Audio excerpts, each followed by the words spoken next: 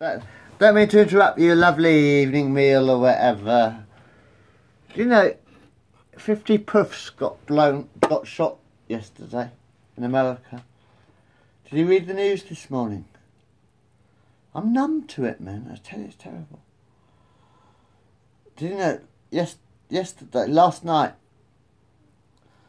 at 50, there was a gay nightclub, I think in America. I think it might be New York. I can't remember where it was. I, I didn't actually buy the newspaper. I should have done that. You know, I'm like.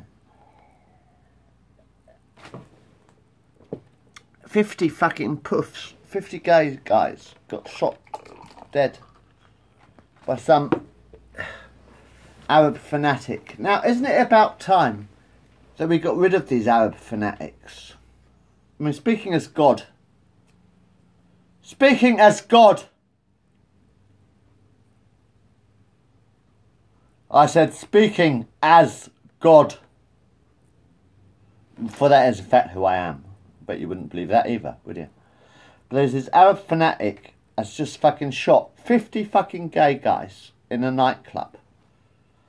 What's it called? Oasis or something? I can't remember what the name of the club was, but probably ironic. I'll have a check on it. Hold on, let me put this on pause and have a quick check.